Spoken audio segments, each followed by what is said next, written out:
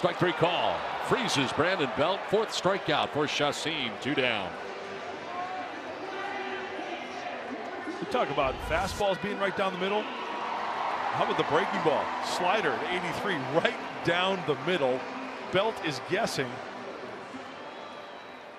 Frozen pizza.